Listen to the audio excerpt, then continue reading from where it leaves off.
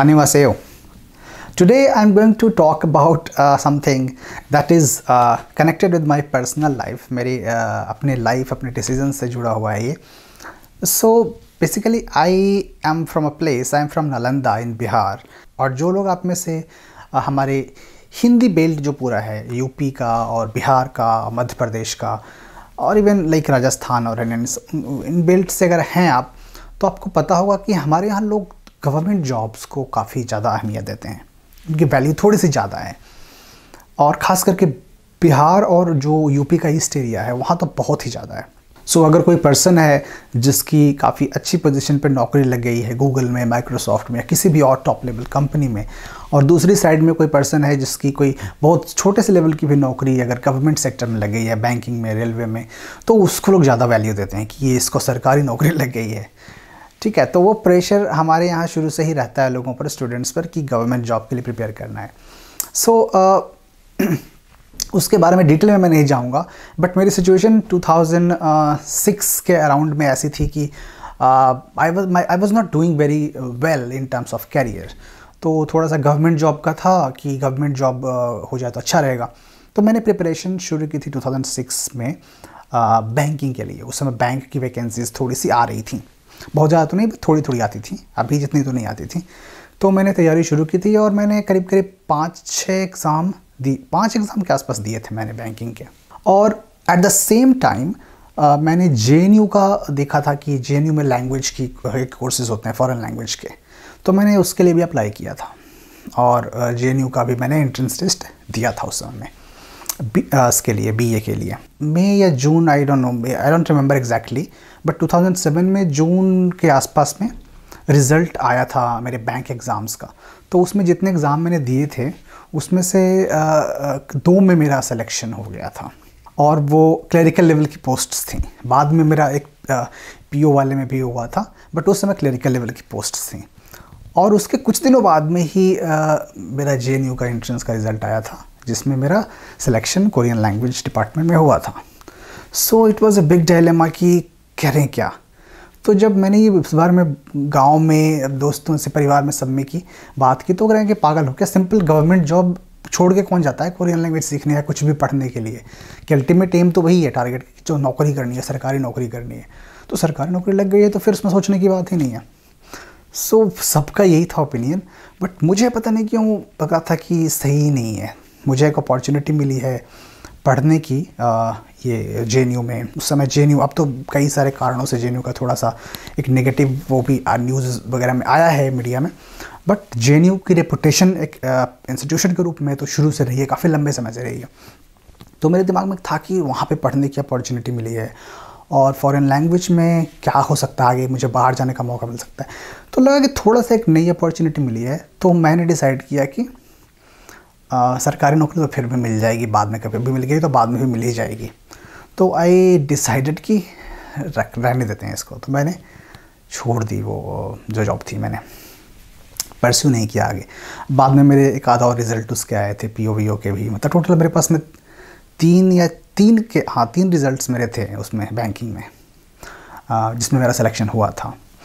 But मैंने तब तक तीसरे रिज़ल्ट आने तक मैं ऑलरेडी जे में हॉस्टल हॉस्टल ले चुका था पढ़ाई वढ़ाई शुरू कर चुका था।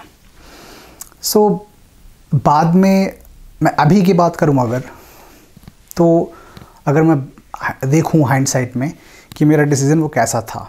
अभी मैं गवर्नमेंट जॉब में नहीं हूँ क्योंकि मैं चाहता भी नहीं था। बाद में जब जे से पढ़ाई करने के बाद मेरा बिल्कुल पूरा माइंडसेट और पूरा पर्सपेक्टिव ही चेंज हो गया नौकरी को लेकर के और चीज़ों को लेकर के। अभी if I look back I feel like कि मेरा डिसीज़न सही था वो। मैंने काफ़ी चीज़ें सीखी अपने पूरी पढ़ाई के दौरान और काफ़ी नई सारी चीज़ों के बारे में जानने को मुझे मिला, जिसका मुझे फ़ायदा भी हुआ है और आगे भी पूरी लाइफ में मुझे फ़ायदा होगा।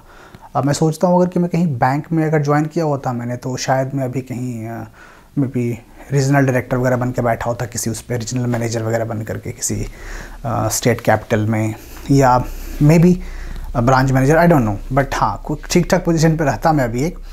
बट अल्टीमेटली मुझे लगता है अभी मैं बेटर पोजीशन में हूँ।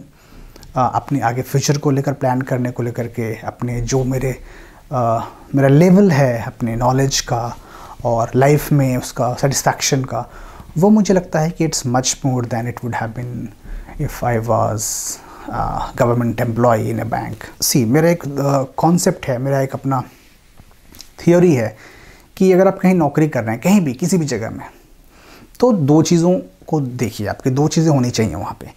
एदर यू शुड अर्न और यू शुड लर्न दोनों हो तो बेस्ट है बट अर्निंग या लर्निंग दोनों में से एक तो होनी चाहिए।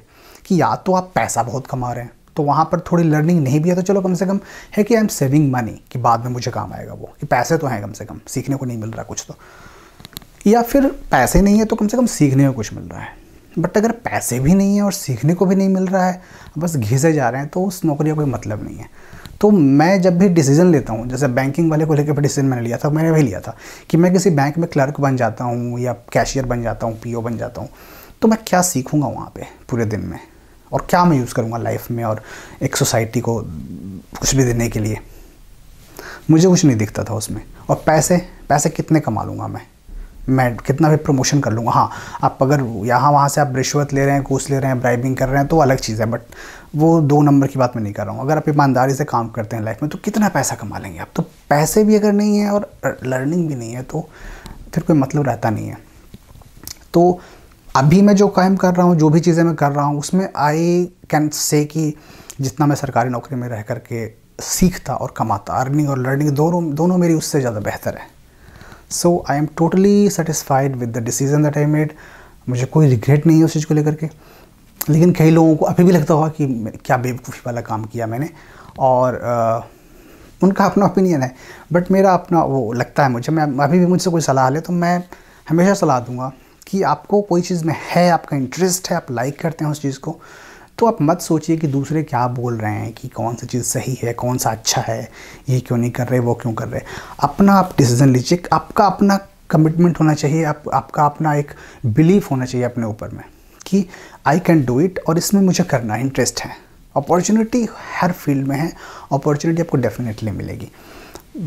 मैटर ये करता है कि आप कितना डेडिकेशन से, कितना मोटिवेशन से उसमें काम कर रहे हैं और एक अच्छे लेवल तक आप पहुँच रहे हैं कि नहीं?